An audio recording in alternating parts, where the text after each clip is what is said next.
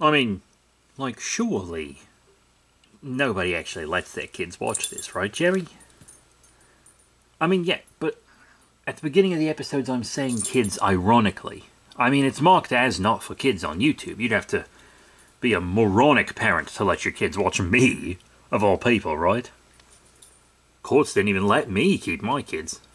Hey there, kids, it's me, Safari Sam, and today we're doing more with the Triops, bitches. Yeah, we have a lot of good stuff to do with the Triops. So, it is finally time to start giving them not the adult food, but the baby food.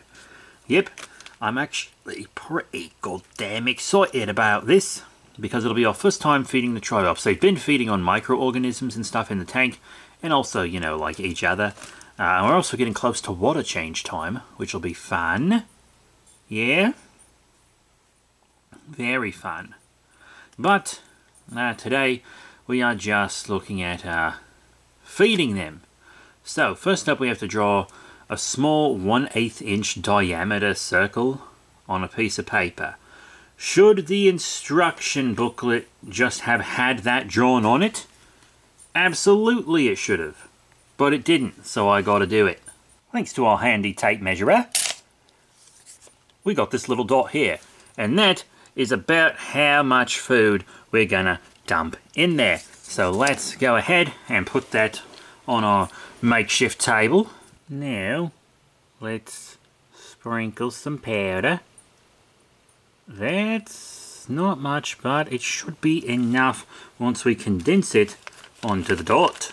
Now let's dump it all in and see what happens.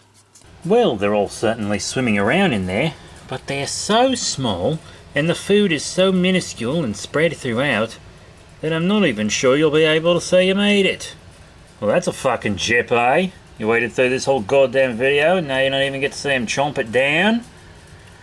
But I promise, when these puppies are bigger, it'll be a lot, lot easier to see them do shit and a lot more fun. And that is it. Thank you all very much for your support today. Uh, we're definitely, definitely going to have more videos with live animals coming very soon. These guys are getting much more visible, little starting to turn brown, as you can see here. Makes them much easier to track, plus they're bigger. I'll we don't get a dog fight going on here.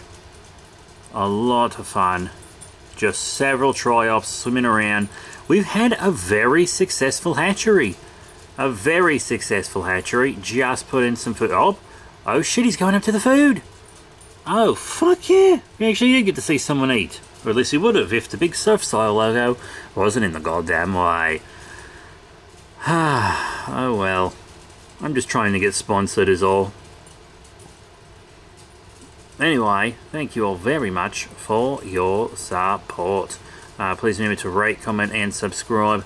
Check out all the cool links in the description below Facebook, Twitter, etc.